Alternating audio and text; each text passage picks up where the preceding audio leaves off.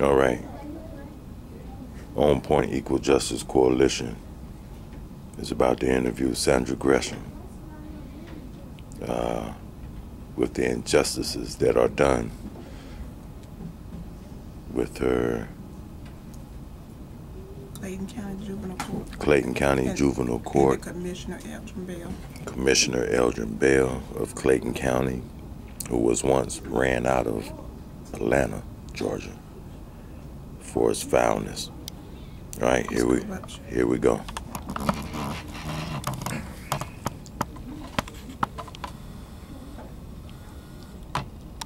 All right.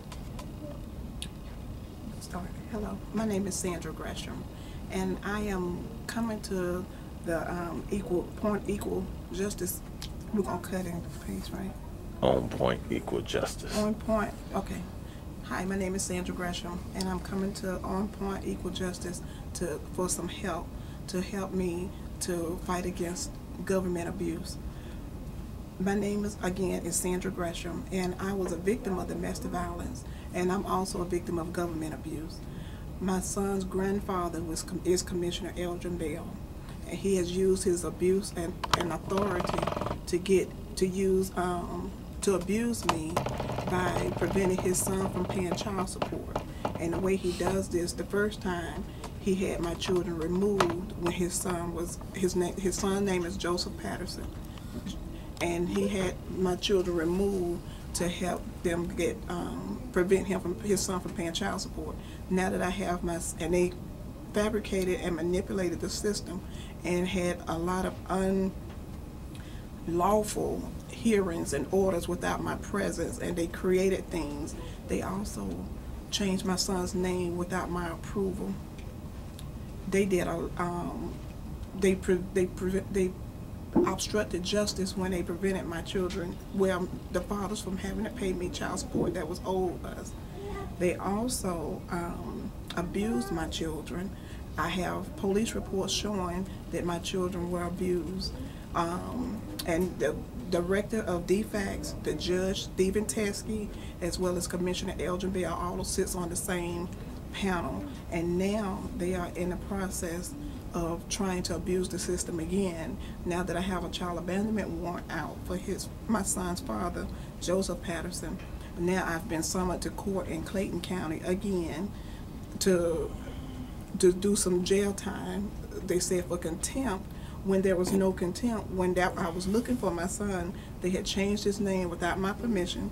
They had someone else listed as the child's mother and the sheriff department in Bibbs County. And I also want to state I'm a resident of Fulton County.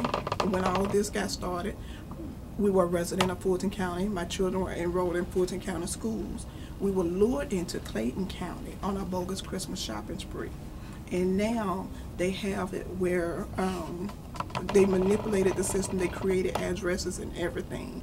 And now they're they even found a psychologist. They have people working with them to manipulate paperwork to make it look like it's legit.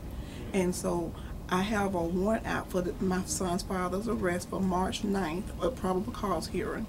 And I just recently received a threat from my son's father saying that he was gonna, I know what he's capable of, and that he's not gonna pay me a penny. We're not gonna get any of his money, and he was warning us.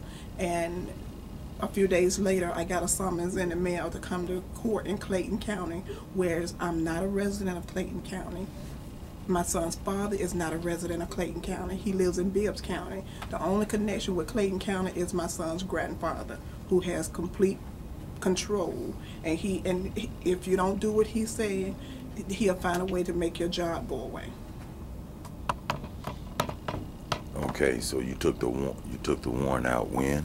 On I took the warrant out on February the sixteenth.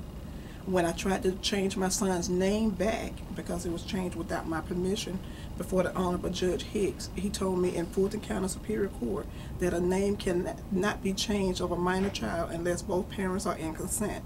I was not in consent, nor did I have knowledge that my son's name was being changed.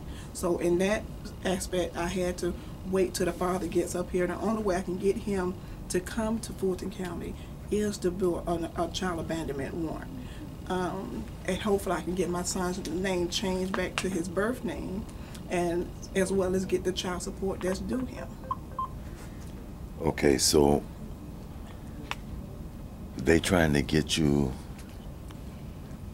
to pay three hundred and how much? Three hundred dollars for contempt for ta- for um, identifying my son and telling the sheriff department where he was. I'm being charged. That was in Bibbs County. The, there was no contact. There was no hearing or anything. They had a hearing and an order without my presence, without the presence of an attorney for me. And on